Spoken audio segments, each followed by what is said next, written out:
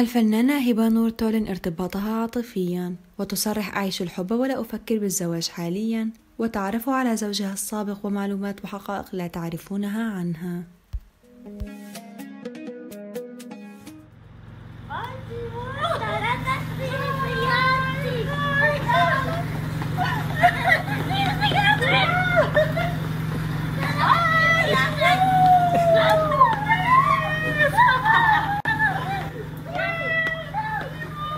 قبل مشاهدة الفيديو لا تنسوا الاشتراك في القناة وتفعيل زر الجرس ليصلكم كل جديد.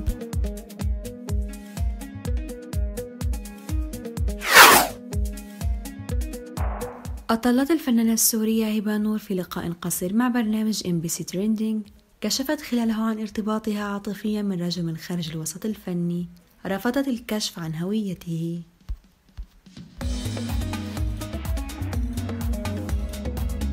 اللقاء أجري على هامش حضورها لحفل المركز دور في بيروت قبل عدة أيام علما بأن الإعلام السوري الشاب ماجد العجلاني رافقها في الحفل. وسئلت نور إن كان حبيبها متواجد معها في الحفل فأجابت نافية كما سئلت إن كانت ستكون عروس 2022 أو عروس 2023 فأجابت بأنها سعيدة بحالة الحب أكثر من تفكيرها بالزواج.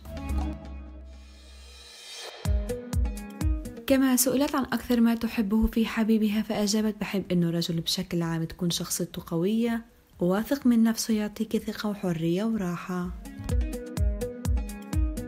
كما صرحت الفنانة هبة نور بحبها للأعمال الكوميدية مع أنها في كثير من الأحيان لا تأخذ حقها في العرض. مبينة أن مسلسلها الكوميدي الأخير زوج تحت الإقامة الجبرية والذي عرض في موسم دراما رمضان 2021 لم يأخذ حقه في العرض. كشفت الفنانة هبة نور أيضا أنها وصلت مرحلة من النضج الفني تدفعها لأن تختار الأعمال التي تشارك فيها بعناية شديدة فهي تبحث عن الأعمال التي تظهر جوانب جديدة من موهبتها. وأكدت هبة نور أنها تحب مهنة التمثيل للغاية ومنحتها قلبها مشيرة إلى تلقيها عروض لأعمال جيدة للغاية لكنها لا ترضي طموحها الفني والشكل الذي تحب أن تظهر فيه. وصرحت الفنانة هبة نور بأنها حريصة على متابعة كل أعمال الفنان السوري قصي خولي والفنانة اللبنانية نادين نسيب جيم.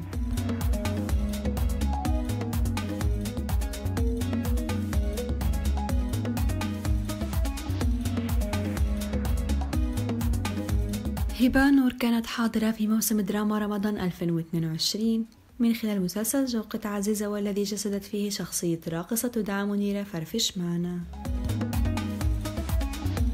تعد هبة نور واحدة من جميلات الدراما السورية والعربية حققت حضورا لافتا ومميزا خلال فترة قصيرة.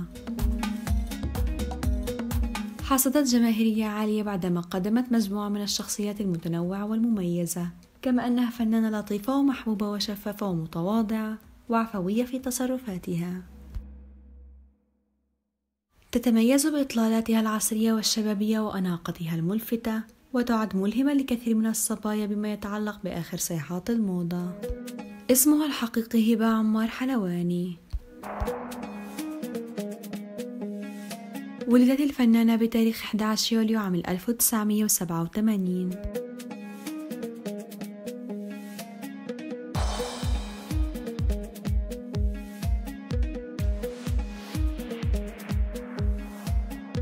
عمر الفنانة حتى الآن 35 سنة. ولدت الفنانة في دمشق في سوريا. جنسيتها سورية. سنوات نشاطها من 2006 حتى الآن.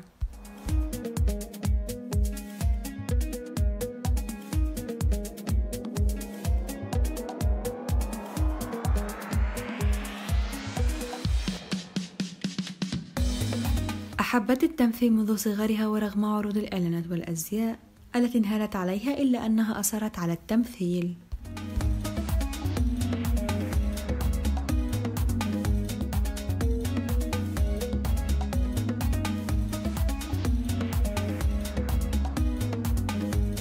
اسمها الحقيقي هبة حلواني ولكنها حين بدأت بالتمثيل صودف وجود ممثلة أخرى تحمل الاسم ذاته. لذا نصحوها بتغييره فاختارت اسم أخيها نور لتصبح لاحقا هبة نور.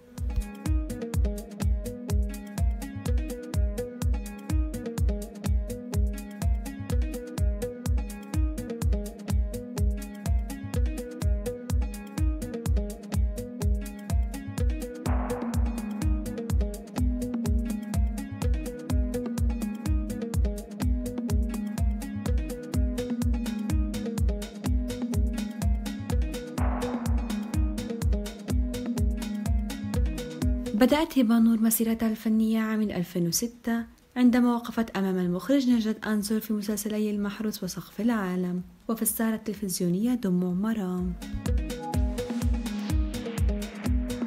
انطلقت عربيا بشكل مبكر عندما أدت دور البطولة النسائية في فيلم عندليب الدقي مع الممثل المصري محمد هنيدي عام 2007 دك خدع برافو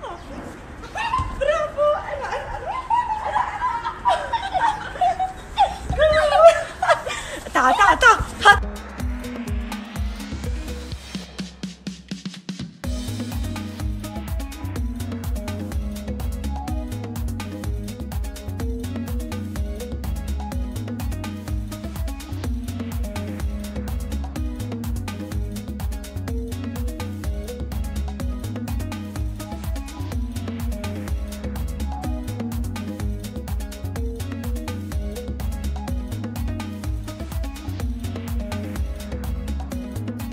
بعدها توالت أعمالها في التلفزيون والسينما وقدمت الفنانة هبة نور العديد من الأدوار. سواء كان في سوريا أو خارجها قبل أن تبتعد عن الأضواء ابتداء من عام 2015 وتعود عام 2019 بعد مشاركتها في مسلسل ما وراء الوجوه عام 2014 مع المخرج مروان بركات ابتعدت هبة نور عن الأضواء بشكل جزئي. إذ غابت هبة نور عن الأعمال الدرامية بينما بقيت متواجدة عبر مواقع التواصل الاجتماعي. وأرجعت غيابها إلى تراجع مستوى الدراما والموضوعات التي كانت تعرض عليها نافي أن يكون غيابها بسبب الزواج كما أشيع. بعد ذلك عادت الفنانة هبة نور بقوة عبر أداء أحد أدوار البطولة في مسلسل الحرم لك هبة نور مهووسة بالتسوق كثيرا وكلما تضايقت لا تجد متنفسا سوى بذلك وتسافر أحيانا إلى بيروت ودبي للتسوق تزوجت الفنانة هبة نور مرة واحدة لثلاث سنوات وانفصلت بعد ذلك وحينها لم تكن قد دخلت مجال التمثيل وحاليا ليست مرتبطة بأحد. وتحمل هبة نور في مسيرتها الفنية ما يقارب الستين عملا. منها يوم ممطر آخر وشركاء يتقاسمون الخراب وزهرة النرجس وليس سرابا وصبايا. ومنمنمات اجتماعية وطريق النحل والدبور والخبز الحرام وأهل الراية ومطلوب رجال عام 2010 والعشق الحرام وبقع الضوء وتعب المشوار وصيعين ضايعين وأوراق الحب والولادة من الخاصرة وما بتخلص حكاياتنا وصرخة روح وصبايا الجزء الخامس وسكر وسط ونساء من هذا الزمن.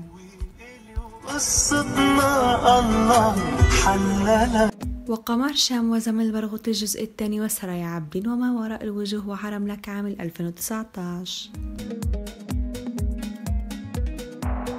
وإضافة إلى عندليب الدق لها عدة مشاركات سينمائية منها الأمانة عام 2009 وصديقي الأخير عام 2012